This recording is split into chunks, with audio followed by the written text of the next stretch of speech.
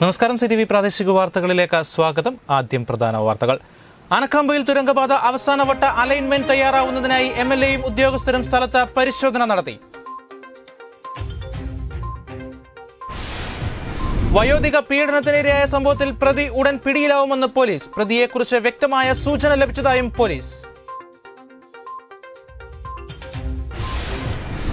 കാരശ്ശേരി പഞ്ചായത്തിൽ നീന്തൽ സർട്ടിഫിക്കറ്റ് വിതരണം വിവാദമാവുന്നു. പഞ്ചായത്ത് സെക്രട്ടറിയെ ഉപരോധിച്ച യു ഡി എഫ് മെമ്പർമാർ രാഷ്ട്രീയ പ്രേരിതമെന്ന് ഗ്രാമപഞ്ചായത്ത് പ്രസിഡന്റ്. മുക്കത്ത് കഞ്ചാവ് പിടികൂടിയ സംഭവം പ്രതികൾക്ക് കഞ്ചാവ് മാഫിയയുമായി ബന്ധമെന്ന് പോലീസ്.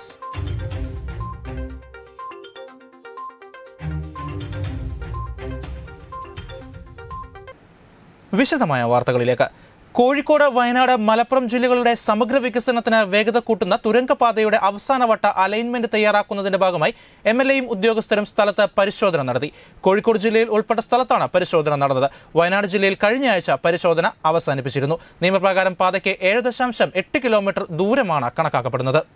കോഴിക്കോട് വയനാട് ജില്ലകളുടെ സമഗ്ര വികസനത്തിനുതകുന്ന തുരങ്കപാതയുടെ അവസാനവട്ട അലൈൻമെന്റ് തയ്യാറാക്കുന്നതിനു വേണ്ടിയാണ് ജോർജൻ തോമസ് എം എൽ എയും പൊതുമരാമത്ത് വകുപ്പ് ഉദ്യോഗസ്ഥരും നിർദ്ദിഷ്ട പാത പോകുന്ന സ്ഥലങ്ങളിൽ സന്ദർശനം നടത്തിയത്. അവസാനമായി കൊങ്കൺ റെയിൽവേ കോർപ്പറേഷൻ തയ്യാറാക്കിയ നാല് അലൈൻമെന്റുകളിൽ ഏറ്റവും അനുയോജ്യമായത് കണ്ടെത്തി ഇതിലൂടെ പാത യാഥാർത്ഥ്യമാക്കാനാണ് തീരുമാനം. ആനക്കാമ്പോലിൽ നിന്ന് തുടങ്ങി മേപ്പാടി കൽപ്പറ്റ ബത്തേരി മലയോര ഹൈവേയിലേക്ക് എത്തുന്ന പാതയാണ് ഏറ്റവും കൂടുതൽ സാധ്യതയെന്ന് ജോർജൻ തോമസ് എം എൽ എ പറഞ്ഞു. ഈ പാതയ്ക്ക് ഏഴ് ദശാംശം എട്ട് കിലോമീറ്റർ ദൂരമാണ് ഉണ്ടാവുക. നേരത്തെ ആറ് ദശാംശം രണ്ട് കിലോമീറ്റർ ദൂരമാണ് പാതയ്ക്ക് കണക്കാക്കിയിരുന്നത്. പുതിയ അലൈൻമെന്റ് പ്രകാരം ഒന്നര കിലോമീറ്ററോളം ദൂരം വർദ്ധിക്കും. നിലവിൽ ഏത് ഭാഗത്ത് നിന്നാണ് പ്രവൃത്തി ആരംഭിക്കേണ്ടത് എന്നതിനെക്കുറിച്ചാണ് ചെറിയ സംശയമുള്ളതെന്നും എം എൽ എ പറഞ്ഞു. ആരംഭസ്ഥലം സംബന്ധിച്ച് അന്തിമ തീരുമാനമാവുന്നതോടെ അടുത്ത ആഴ്ച കൊങ്കൺ റെയിൽവേ കോർപ്പറേഷനുമായി ഓൺലൈനിൽ മീറ്റിംഗ് നടക്കും. ഡീറ്റെയിൽ പ്രൊജക്ട് റിപ്പോർട്ട് തയ്യാറായാൽ ഫീൽഡ് സർവേ സാങ്കേതിക വശം എന്നിവയെല്ലാം പൂർത്തിയാക്കി കൊങ്കൺ റെയിൽവേ പ്രവൃത്തി ആരംഭിക്കുമെന്നും എം എൽ എ പറഞ്ഞു. ഇവിടെ അത് എവിടെ നിന്നാണ് എൻട്രി പോയിന്റ് എവിടെയാണ് വെക്കേണ്ടത് എന്നുള്ളതാണ് കൺഫ്യൂഷൻ ഇപ്പോൾ പരിശോധിച്ചപ്പോൾ അതിനൊരു ലെവൽ ഡിഫറൻസ് ഇരുന്നൂറ് മീറ്റർ നമുക്കൊരു ഒരു കിലോമീറ്ററിന്റെ ഉള്ളിൽ ഇരുന്നൂറ് മീറ്റർ ഹൈറ്റിലേക്ക് ഇന്ന് വരണം. അപ്പോൾ ഗ്രേഡിയന്റ് അല്പം കൂടും. അപ്പോൾ gradient one is to twelve അല്ലെങ്കിൽ വൺ ഈസ് ടു ഫിഫ്റ്റീൻ എന്ന നിലയിൽ ഗ്രേഡിയന്റ് ഫിക്സ് ചെയ്യത്തക്കൊണ്ടുള്ള എൻട്രി പോയിന്റാണ് നമ്മൾ നോക്കുന്നത്. അപ്പോൾ അതുകൂടി ഫൈനലൈസ് ചെയ്താൽ കൊങ്കൺ റെയിൽവേന്റെ ആളുകളുമായി കഴി അടുത്ത ആഴ്ച വീഡിയോ കോൺഫറൻസ് ഉണ്ട്. തുരങ്കപാതയിൽ വനഭൂമി ഒന്നുമില്ല. വനഭൂമി ഒഴിവാക്കിയാണ് പാത നിർമ്മിക്കുന്നത്.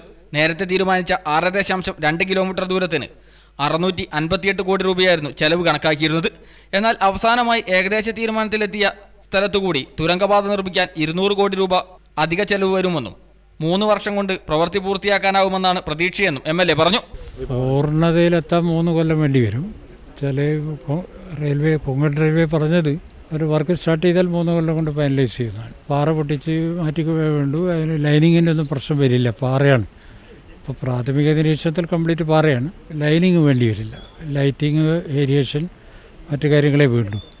ഡ്രെയിനേജ് അതേപോലെയുള്ള സൗകര്യങ്ങൾ. പിന്നെ ബസ് ബേകൾ വേണം. അതൊക്കെ ഒരുക്കാൻ അതിനുള്ള സംവിധാനം അതിനകത്തുണ്ട്. കഴിഞ്ഞ ആഴ്ച പദ്ധതിയുമായി ബന്ധപ്പെട്ട് വയനാട് ജില്ലയുടെ ഭാഗത്ത് തിരുവമ്പാടി കൽപ്പറ്റ എം എൽ എമാരും പൊതുമരാമത്ത് വകുപ്പ് ഉദ്യോഗസ്ഥരും തമ്മിൽ ചർച്ച നടത്തിയിരുന്നു. പാതയ്ക്ക് ഒരു കിലോമീറ്റർ നൂറ്റി അൻപത് കോടി രൂപയാണ് ചെലവെന്നും ഇരുന്നൂറ് മീറ്ററോളമുള്ള ഉയരവ്യത്യാസമാണ് ചെറിയ പ്രശ്നമെന്നും പൊതുമരാമത്ത് അസിസ്റ്റന്റ് എഞ്ചിനീയർ വിനയരാജ് പറഞ്ഞു. ആരംഭ സ്ഥലത്ത് കോഴിക്കോട് ജില്ലയിൽ മുന്നൂറ് മീറ്ററോളം റോഡും ഒരു പാലവും പാതയുടെ ഭാഗമായി ഉണ്ടാവുമെന്നും അദ്ദേഹം പറഞ്ഞു. ഇതിന്റെ ഇപ്പോൾ പ്രാഥമികമായിട്ടുള്ള ഈ പഠനം നടത്തി ഏത് റൂട്ടിൽ കൂടിയാണ് പാത പോകുന്നതെന്നുള്ള ഒരു അവസാന തീരുമാനത്തിലേക്ക് എത്താനുള്ള ഒരു പഠനത്തിന്റെ അന്തിമ രൂപം തയ്യാറാക്കി വരികയാണ്. അതിൽ നാല് നിർദ്ദിഷ്ട പാതകൾ കൊങ്കൺ റെയിൽവേ കോർപ്പറേഷൻ അയച്ചു തന്നിട്ടുണ്ട്. അത് ടെക്നിക്കലായിട്ട് സാങ്കേതികമായിട്ട് പരിശോധിച്ച് അതിലേറ്റവും അനുയോജ്യമായത് കഴിഞ്ഞ ദിവസം ഞങ്ങൾ വയനാട് ഭാഗത്ത് പോയി പരിശോധിച്ചു. ഏകദേശം കള്ളാടി മേപ്പാടി റോഡിൽ ചെന്ന് അവസാനിക്കുന്ന തരത്തിൽ ഇതിലും ഈ ഭാഗത്ത് അതിനനുയോജ്യമായിട്ടൊരു തുരങ്കം ആരംഭിക്കുന്ന സ്ഥലം. ഈ പ്രകൃതിയുടെ ഈ മലനിരകളുടെ ഒരു പ്രത്യേക ഇതാ കൂടി കണക്കിലെടുത്ത് അതും കൂടി നോക്കി തീരുമാനിക്കേണ്ടതുണ്ട്. പാത യാഥാർത്ഥ്യമാവുന്നതോടെ കോഴിക്കോട് മലപ്പുറം വയനാട് ജില്ലകളുടെ സമഗ്ര വികസനത്തിന് ഗതിവേഗം കൂട്ടുമെന്ന കാര്യത്തിൽ സംശയമില്ല. നിബിൻ നവാസിനും ജി എൻ ആസാദിനുമൊപ്പം സി ഫസൽ ബാബു. മുത്തേരിയിൽ വയോധിക പീഡനത്തിനിരയായ സംഭവത്തിൽ പ്രതി ഉടൻ പിടിയിലാവുമെന്ന് പോലീസ്. പ്രതിയെക്കുറിച്ച് പോലീസിന് വ്യക്തമായ സൂചന ലഭിച്ചിട്ടുണ്ട്. ഇക്കഴിഞ്ഞ രണ്ടാം തീയതിയാണ് മുക്കം മുത്തേരിയിൽ വെച്ച് ജോലിക്ക് പോകുന്നതിനിടെ അറുപത്തഞ്ചുകാരി പീഡനത്തിനിരയായത്. ജോലിക്ക് പോകുന്നതിനിടെ വയോധിക പീഡനത്തിനിരയായ സംഭവത്തിൽ പ്രതിയെക്കുറിച്ച് പോലീസിന് വ്യക്തമായ സൂചന ലഭിച്ചതായാണ് വിവരം. കഴിഞ്ഞ പത്ത് ദിവസത്തെ അന്വേഷണമാണ് പ്രതിയിലേക്ക് എത്തിച്ചത്. സംഭവം നടന്ന മൊബൈൽ ടവർ പരിധിയിലെ ആ സമയത്തെ മുഴുവൻ മൊബൈൽ ഫോണുകളും പരിശോധിച്ചപ്പോഴാണ് പ്രതിയെന്ന് സംശയിക്കുന്ന ആളിലേക്ക് പോലീസ് എത്തിയത്. ഇയാൾ സംഭവ സമയത്ത് ടവർ പരിധിയിൽ ഉണ്ടായിരുന്നതായും കഴിഞ്ഞ ദിവസം പിടിയിലായ കഞ്ചാവ് കേസിലെ പ്രതികളുമായി ഇയാൾക്ക് ബന്ധമുള്ളതായും പോലീസ് കണ്ടെത്തിയിട്ടുണ്ട്. മാത്രമല്ല ഇടയ്ക്കിടയ്ക്ക് ഇയാൾ മുക്കത്ത് വന്നു പോയിരുന്നതായും നിരവധി സിം കാർഡുകൾ ഇയാളുടെ പേരിൽ ഉള്ളതായും പ്രത്യേക അന്വേഷണ സംഘം കണ്ടെത്തിയിട്ടുണ്ട്. പ്രതിക്ക് വേണ്ടി വിവിധ രീതിയിൽ അന്വേഷണം നടത്തിയിട്ടും യാതൊരു തെളിവും ലഭിക്കാത്തതിനെ തുടർന്നാണ് മൊബൈൽ ടവറിന് പരിധിയുള്ള മുഴുവൻ ഫോണുകളും പരിശോധിച്ചത്. ഇതാണ് വഴിത്തിരിവായത്. പ്രതിയെന്ന് സംശയിക്കുന്ന ആൾക്ക് മറ്റു ജില്ലകളിലും സമാനമായ കേസുള്ളതായും അന്വേഷണ സംഘം കണ്ടെത്തിയിട്ടുണ്ട്. അതേസമയം പീഡനത്തിനിരയായ മുത്തേരി സ്വദേശിനിയായ അറുപത്തിയഞ്ചുകാരി പരിക്കുകൾ ഭേദമായതിനെ തുടർന്ന് കഴിഞ്ഞ ദിവസം ആശുപത്രി വിട്ടു. Rural S P doctor S Srinivas Thamarassery DySP T K Ashraf എന്നിവരുടെ മേൽനോട്ടത്തിൽ മുഖ്യ inspector B K Siju Balussery inspector Jeevan George എന്നിവരുടെ നേതൃത്വത്തിൽ വിവിധ സംഘങ്ങളായാണ് കേസിൽ അന്വേഷണം നടത്തിവരുന്നത്. News bureau Mukkam. കാരശ്ശേരി ഗ്രാമപഞ്ചായത്തിലെ എസ് എസ് എൽ സി പാസ്സായ കുട്ടികൾക്ക് തുടർ പഠനത്തിന് ഗ്രേസ് മാർക്ക് ലഭിക്കുന്നതിന്റെ ഭാഗമായി ഗ്രാമപഞ്ചായത്ത് വിതരണം ചെയ്യുന്ന നീന്തൽ സർട്ടിഫിക്കറ്റ് വിതരണത്തിൽ രാഷ്ട്രീയം കലർത്തുന്നതായി ആരോപിച്ച് പഞ്ചായത്തിലെ യു അംഗങ്ങൾ സെക്രട്ടറിയെ ഉപരോധിച്ചു. പഞ്ചായത്ത് വിദ്യാഭ്യാസ സ്റ്റാൻഡിംഗ് കമ്മിറ്റി യോഗ തീരുമാനത്തിന് വിരുദ്ധമായാണ് സർട്ടിഫിക്കറ്റ് വിതരണം ചെയ്യുന്നതെന്ന് യു അംഗങ്ങൾ ആരോപിക്കുമ്പോൾ യു സമരം രാഷ്ട്രീയ പ്രേരിതമാണെന്ന് പഞ്ചായത്ത് പ്രസിഡന്റിന്റെ പ്രതികരണം.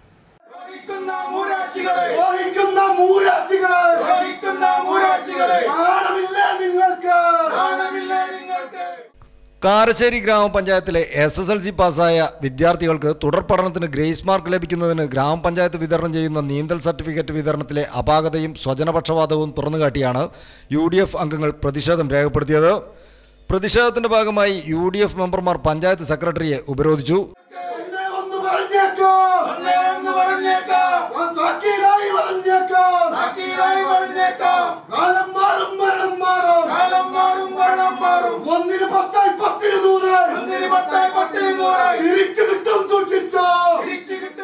ഏറെ നേരത്തെ ഉപരോധത്തിന് ശേഷം മുക്കം പോലീസ് സ്ഥലത്തെത്തി ഉപരോധം നടത്തിയ അംഗങ്ങളെ സ്ഥലത്തു നിന്നും മാറ്റുകയായിരുന്നു. എട്ട് ഏഴ് രണ്ടായിരത്തി ഇരുപതിന് ചേർന്ന വിദ്യാഭ്യാസ സ്റ്റാൻഡിംഗ് കമ്മിറ്റി യോഗത്തിൽ പതിമൂന്ന് പതിനാല് പതിനഞ്ച് പതിനാറ് തീയതികളിലായി അതാത് വാർഡുകളിൽ അംഗങ്ങളുടെ നേതൃത്വത്തിൽ നീന്തൽ സർട്ടിഫിക്കറ്റുകൾ വിതരണം ചെയ്യുമെന്നായിരുന്നു തീരുമാനിച്ചത്. എന്നാൽ അതിന് വിരുദ്ധമായി കഴിഞ്ഞ ദിവസം തന്നെ എൽ ഡി എഫ് മെമ്പർമാരുടെ വാർഡുകളിൽ മെമ്പർമാരും മറ്റു വാർഡുകളിൽ സി പി ഐ എം പ്രാദേശിക നേതാക്കളും അവർക്കിഷ്ടമുള്ളവർക്ക് മാത്രം സർട്ടിഫിക്കറ്റുകൾ വിതരണം നടത്തിയെന്നാണ് യു ഡി എഫ് നേതാക്കളുടെ ആരോപണം. ഇത് ശ്രദ്ധയിൽപ്പെട്ടതിന്റെ അടിസ്ഥാനത്തിൽ പഞ്ചായത്ത് അധികൃതരോട് അന്വേഷിച്ചപ്പോൾ ഇത് തങ്ങൾക്കിഷ്ടമുള്ളതുപോലെ വിതരണം ചെയ്യുമെന്ന ധിക്കാരപരമായ മറുപടിയാണ് ലഭിച്ചതെന്നും പഞ്ചായത്ത് സെക്രട്ടറിക്ക് പഞ്ചായത്തിൽ നടക്കുന്ന ഒരു കാര്യത്തെക്കുറിച്ചും ഒരു വിവരവുമില്ലെന്നും യു ഡി എഫ് നേതാക്കൾ ആരോപിച്ചു. വിവിധ വാർഡുകളിൽ നിന്നും നിരവധി വിദ്യാർത്ഥികൾ ചൊവ്വാഴ്ചയും പഞ്ചായത്ത് ഓഫീസിലേക്ക് സർട്ടിഫിക്കറ്റ് അന്വേഷിച്ചുകൊണ്ട് എത്തിയിരുന്നെന്നും കോവിഡ് ദുരന്തത്തിനിടയിലും പഞ്ചായത്തിലെ കുട്ടികളെ ദുരിതത്തിലാഴ്ത്തുകയും രാഷ്ട്രീയ വിവേചനം നടത്തുക വഴി കുട്ടികളുടെ തുടർ വിദ്യാഭ്യാസത്തെ പോലും അവതാളത്തിലാക്കുന്ന ഭരണസമിതിയുടെ നിലപാട് തിരുത്തണമെന്നും അല്ലാത്തപക്ഷം ശക്തമായ സമരപരിപാടികൾക്ക് യു ഡി എഫ് നേതൃത്വം കൊടുക്കുമെന്നും മെമ്പർമാർ അറിയിച്ചു. കാരശ്ശേരി ഗ്രാമപഞ്ചായത്തിൽ നാളിതുവരെ കാണാത്ത വൃത്തികെട്ട രാഷ്ട്രീയ കളിയാണ് എസ് എസ് എൽ സി പാസ്സായ കുട്ടികൾക്ക് വർഷാവർഷം നൽകുന്ന നീന്തൽ സർട്ടിഫിക്കറ്റ് വിഷയവുമായി ബന്ധപ്പെട്ട് ഇന്നുണ്ടായിട്ടുള്ളത്. പതിമൂന്ന് പതിനാല് പതിനഞ്ച് പതിനാറ് തീയതികളിലായി രാവിലെയും ഉച്ചക്കുമായി അതാത് വാർഡുകളിൽ വെച്ച് വാർഡ് മെമ്പർമാരുടെ നേതൃത്വത്തിൽ വിതരണം ചെയ്യണം എന്ന് എട്ട് ഏഴ് രണ്ടായിരത്തി ഇരുപതിന് ചേർന്ന വിദ്യാഭ്യാസ സ്റ്റാൻഡിംഗ് കമ്മിറ്റി യോഗത്തിൽ തീരുമാനമെടുത്തതാണ്. പക്ഷേ ഇന്നലെ മുതൽ പഞ്ചായത്തിന്റെ വിവിധ ഭാഗങ്ങളിൽ ചില സ്ഥലങ്ങളിൽ എൽ ഡി എഫിന്റെ മെമ്പർമാർ ചില സ്ഥലങ്ങളിൽ സി പി എമ്മിന്റെ നേതാക്കൾ ഈ സർട്ടിഫിക്കറ്റ് വിതരണം ചെയ്യുന്ന കാഴ്ച നമ്മുടെ നാട്ടുകാർ കാണാനിടയാകുകയും അങ്ങനെ യു ഡി എഫിന്റെ മെമ്പർമാരെ വിളിച്ചു ചോദിച്ചു എപ്പോഴാണ് സർട്ടിഫിക്കറ്റ് കിട്ടുക എന്ന്. അപ്പോൾ പഞ്ചായത്ത് സെക്രട്ടറിയും പ്രസിഡന്റേയും വിളിച്ചപ്പോൾ അതിന് വ്യക്തമായ ഒരു മറുപടി നൽകിയില്ല. M T Ashraf E N Jamnas P P Shiyabuddin N K Anwar Suhara Karuvottu തുടങ്ങിയവർ പ്രതിഷേധത്തിന് നേതൃത്വം നൽകി. അതേസമയം മുൻ വർഷങ്ങളിൽ നീന്തൽ അറിയുമോ എന്ന് പരിശോധിച്ചതിന് ശേഷമാണ് സർട്ടിഫിക്കറ്റ് നൽകിയിരുന്നതെന്നും കൊറോണയുടെ പശ്ചാത്തലത്തിലാണ് ആശാ വർക്കർമാർ മുഖേനയും ആർ ആർ ടി വളണ്ടിയർമാർ മുഖേനയും സർട്ടിഫിക്കറ്റുകൾ നൽകുന്നതെന്നും പഞ്ചായത്ത് പ്രസിഡന്റ് പ്രതികരിച്ചു. ഇതിനെതിരെ നടത്തിയ സമരം തീർത്തും രാഷ്ട്രീയ പ്രേരിതമാണെന്നും എസ് എസ് എൽ സി പരീക്ഷ തന്നെ നടത്തേണ്ടെന്ന് പറഞ്ഞ യു ഡി എഫുകാർക്ക് സംസ്ഥാന S S L C plus two പരീക്ഷകൾ വിജയകരമായി നടത്തിയതിന്റെ ജാള്യത മറയ്ക്കാനുള്ള ശ്രമമാണ് സമരമെന്നും പഞ്ചായത്ത് പ്രസിഡന്റും പ്രതികരിച്ചു. അപ്പോൾ ആ സർട്ടിഫിക്കറ്റ് വിതരണം ചെയ്യുന്നത് കോവിഡ് കാലമായതുകൊണ്ട് ആശാ വർക്കർമാർ മുഖേനയും അതുപോലെ വാർഡ് ആർ ആർ ടി മെമ്പർമാർ മുഖേനയുമാണ്. അത് പിന്നെ നമ്മുടെ തീരുമാനമാണ്. ഇപ്പം എല്ലാ കാര്യങ്ങളും അങ്ങനെ തന്നെയാണ് സർക്കാരിന്റെയും പഞ്ചായത്തിന്റെയും നടക്കുന്നത്. അങ്ങനെ നടക്കാൻ തീരുമാനിച്ചത് ഈ സാമൂഹ്യ അകലം പാലിക്കുന്നതും അതുപോലെ ഈ കുട്ടികളെ വെറുതെ പഞ്ചായത്ത് ഓഫീസിലേക്ക് നടത്തിക്കേണ്ടതില്ല.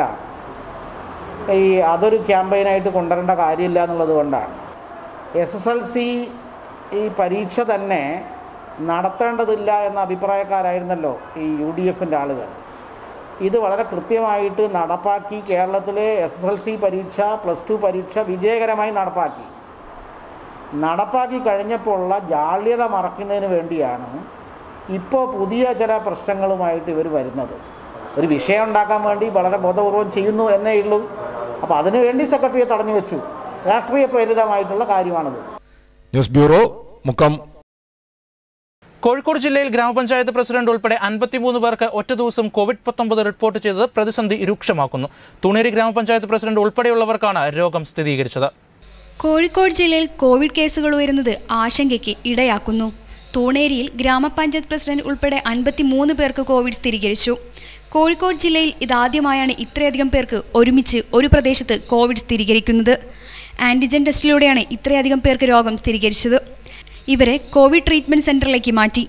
അതേസമയം കോഴിക്കോട് വടകര പച്ചക്കറി മാർക്കറ്റിൽ ഉറവിടം അറിയാതെ രണ്ടു പേർക്ക് കോവിഡ് സ്ഥിരീകരിച്ചതിനെ തുടർന്ന് ജില്ലയിൽ നിയന്ത്രണങ്ങൾ കർശനമാക്കി. തമിഴ്നാട്ടിൽ നിന്നെത്തിയ ലോറി ഡ്രൈവർമാരിൽ നിന്നാകാം രോഗബാധയുണ്ടായതെന്നാണ് ജില്ലാ ഭരണകൂടത്തിന്റെ പ്രാഥമിക വിലയിരുത്തൽ. കോഴിക്കോട് നഗരത്തിൽ സന്നദ്ധ പ്രവർത്തകനും കഴിഞ്ഞ ദിവസം കോവിഡ് സ്ഥിരീകരിച്ചിരുന്നു. News bureau Mukkam. തുണേരിയിൽ അൻപതോളം ആളുകൾക്ക് ആന്റിജൻ ബോഡി ടെസ്റ്റിലൂടെ കോവിഡ് പത്തൊമ്പത് സ്ഥിരീകരിച്ചതിന് പിന്നാലെ നിയന്ത്രണം കടുപ്പിച്ച ജില്ലാ ഭരണകൂടം. പുതിയ സാഹചര്യത്തിൽ ജില്ലയിലെ രാഷ്ട്രീയ പാർട്ടി യോഗങ്ങളിലും പൊതുപരിപാടികളിലും പത്തിൽ കൂടുതൽ ആളുകൾ പങ്കെടുക്കരുതെന്നും വിവാഹ പരിപാടികളിൽ അൻപതിൽ കൂടുതലും മരണവീടുകളിൽ ഇരുപതിൽ കൂടുതൽ ആളുകൾ പങ്കെടുക്കരുതെന്നും ജില്ല വിട്ടുപോകുന്നവർ ആർ ആർ അറിയിക്കണമെന്നും ജില്ലാ കളക്ടർ അറിയിച്ചു. തൂണേരിയിൽ അൻപതോളം ആളുകൾക്ക് ആന്റിജൻ ബോഡി ടെസ്റ്റിലൂടെ കോവിഡ് പോസിറ്റീവ് സ്ഥിരീകരിച്ചതിന് പിന്നാലെയാണ് ജില്ലാ ഭരണകൂടം നിയന്ത്രണങ്ങൾ കടുപ്പിച്ചത്. തൂണേരിയിൽ രോഗം പകർന്നത് കണ്ണൂരിലെയും കോഴിക്കോട്ടെയും മരണ വീടുകളിൽ നിന്നാണെന്നും കളക്ടർ അറിയിച്ചു. പുതിയ സാഹചര്യത്തിൽ ജില്ലയിലെ കൂടിച്ചേരലുകൾക്ക് ശക്തമായ നിയന്ത്രണമാണ് ഏർപ്പെടുത്തിയത്. രാഷ്ട്രീയ പാർട്ടി യോഗങ്ങളിലും പരിപാടികളിലും പത്തിൽ കൂടുതൽ ആളുകൾ പങ്കെടുക്കരുതെന്ന് ജില്ലാ കളക്ടർ അറിയിച്ചിട്ടുണ്ട്. കൂടാതെ പരിപാടിക്ക് പോലീസിന്റെ മുൻകൂർ അനുമതി വാങ്ങുകയും വേണം. വിവാഹ പരിപാടികളിൽ അമ്പതിൽ കൂടുതൽ ആളുകൾ പങ്കെടുക്കരുത്. മരണ വീടുകളിലും കർശന നിയന്ത്രണം തുടരും. ഇരുപത് പേരിൽ കൂടുതൽ ആളുകൾ മരണ വീടുകളിൽ എത്തുന്നില്ല എന്ന് ഉറപ്പുവരുത്തും. ഇതിനു പുറമെ ജില്ല വിട്ടുപോകുന്നവർ ആർ ആർ ടിയെ അറിയിക്കണമെന്നും ഗ്രാമപ്രദേശങ്ങളിലെ ടൂറിസ്റ്റ് കേന്ദ്രങ്ങളിൽ നിയന്ത്രണങ്ങൾ ലംഘിച്ചെത്തുന്നവർക്കെതിരെ കർശന നടപടിയുണ്ടാവുമെന്നും ജില്ലാ കളക്ടർ അറിയിച്ചു. തൂണേരിയിൽ അറുപത്തിയേഴുകാരിക്കും ഇരുപത്തിയേഴുകാരനും നാദാപുരത്ത് മുപ്പത്തിനാലുകാരിക്കുമാണ് കഴിഞ്ഞ ദിവസം കോവിഡ് രോഗം സ്ഥിരീകരിച്ചത്. ആരോഗ്യവകുപ്പിന്റെ നിർദ്ദേശം അവഗണിച്ച് കൂടുതൽ പേർ മരണ വീട്ടിലേക്ക് പോയത് വിനയായിട്ടുണ്ട്. തൂണേരിയിൽ ജനപ്രതിനിധി അടക്കമുള്ളവരുടെ ആന്റിജൻ പരിശോധനാ ഫലം പോസിറ്റീവായത് ആരോഗ്യ പ്രവർത്തകരിലും പരിഭ്രാന്തി പടർത്തിയിട്ടുണ്ട്. കൂടുതൽ രോഗികൾ ഉണ്ടാവാനുള്ള സാധ്യതയാണുള്ളത്. പുതിയ സാഹചര്യത്തിൽ കൂടുതൽ പേരെ പരിശോധനയ്ക്ക് വിധേയമാക്കാനാണ് തീരുമാനം. News desk C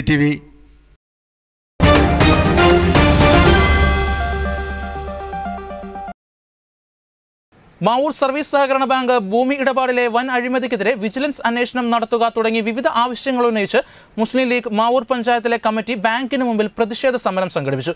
മുസ്ലിം ലീഗ് കോഴിക്കോട് ജില്ലാ vice president K A Khader master സമരം ഉദ്ഘാടനം ചെയ്തു.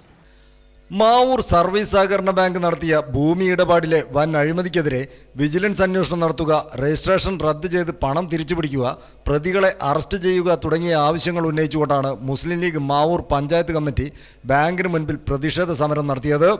മുസ്ലിം ലീഗ് കോഴിക്കോട് ജില്ലാ vice president K A Khader master സമരം ഉദ്ഘാടനം ചെയ്തു.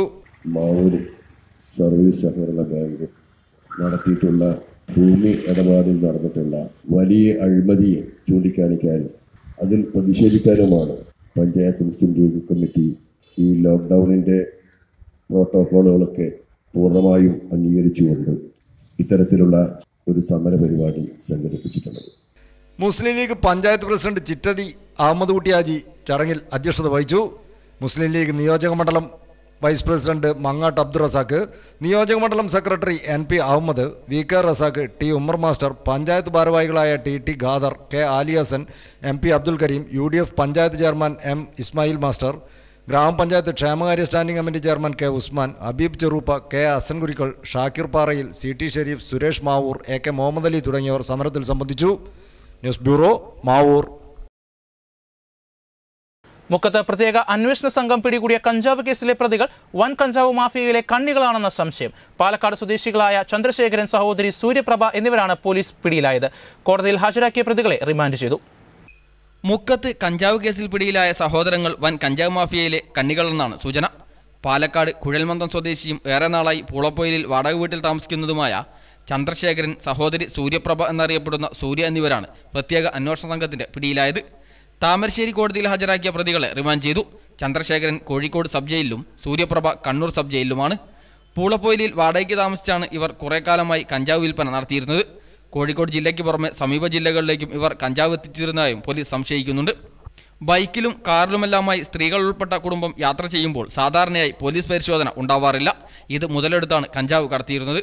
മുത്തേരി കാപ്പുമല വളവിൽ വയോധികയെ ആക്രമിച്ച് സ്വർണാഭരണങ്ങൾ കവർന്ന കേസിന്റെ അന്വേഷണത്തിനിടെയാണ് പൂളപ്പൊയിൽ വെച്ച് പുലർച്ചെ ബൈക്കിൽ കടത്തുകയായിരുന്ന പത്ത് കിലോയിലധികം കഞ്ചാവുമായി യുവാവും സഹോദരിയും പിടിയിലാവുന്നത്. ഈ മാസം രണ്ടിന് വയോധിക ആക്രമണത്തിനിരയായ കേസിന്റെ അന്വേഷണത്തിനായി കോഴിക്കോട് റൂറൽ ജില്ലാ പോലീസ് മേധാവി doctor A Srinivas I P എസിന്റെ നിർദ്ദേശപ്രകാരം പ്രത്യേക അന്വേഷണ സംഘത്തിന് രൂപം നൽകിയിരുന്നു. സംഭവം നടന്ന് കഴിഞ്ഞ പത്ത് ദിവസത്തോളമായി പ്രത്യേക അന്വേഷണ സംഘം വിവിധ ഗ്രൂപ്പുകളായി തിരിഞ്ഞ് പ്രതിയെ പിടികൂടുന്നതിനായി അയൽ ജില്ലകളിലുൾപ്പെടെ ഊർജിതമായി അന്വേഷണം നടത്തി വരുന്നതിനെയാണ് പ്രതിയെന്ന് സംശയിക്കുന്ന ആളുമായി ബന്ധമുള്ള ചന്ദ്രശേഖരനെക്കുറിച്ച് സൂചന ലഭിക്കുന്നത്. ഇയാളെ കഴിഞ്ഞ ഏതാനും ദിവസമായി നിരീക്ഷിച്ചു വരുന്നതിനിടെയാണ് ഇയാൾക്ക് വൻതോതിൽ കഞ്ചാവ് കടത്തുന്ന മാഫിയയുമായി ബന്ധമുണ്ടെന്ന് പോലീസിന് വിവരം ലഭിക്കുന്നത്.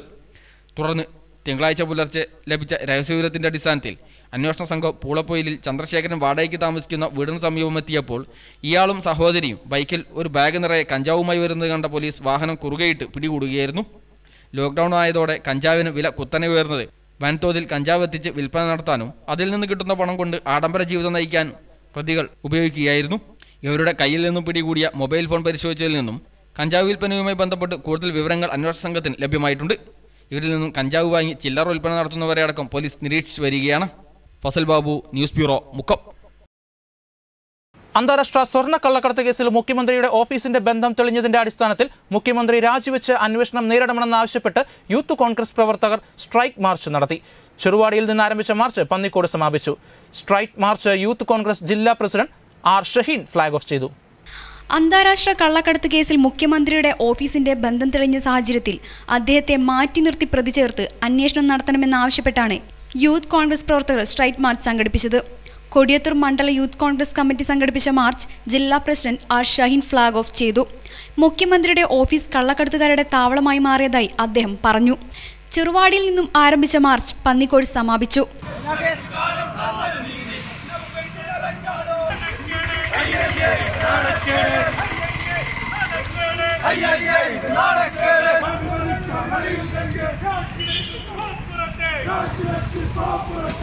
യൂത്ത് കോൺഗ്രസ് നിയോജക മണ്ഡലം പ്രസിഡന്റ് സഹീർ എരഞ്ഞോണ സമാപന സംഗമം ഉദ്ഘാടനം ചെയ്തു.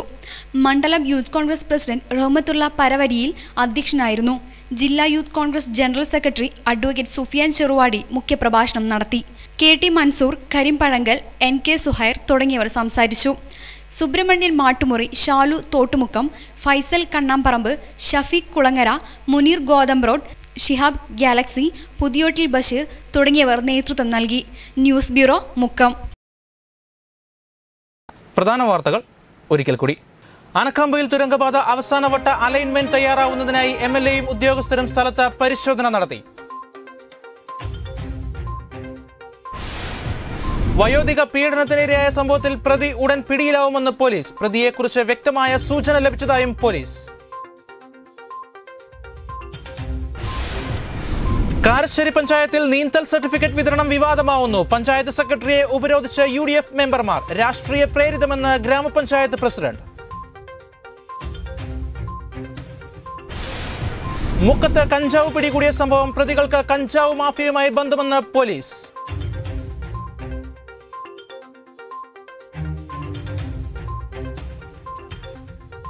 ഇതോടെ സി ടി വി പ്രാദേശിക വാർത്താ ബുള്ളറ്റിൻ അവസാനിക്കുന്നു. നമസ്കാരം.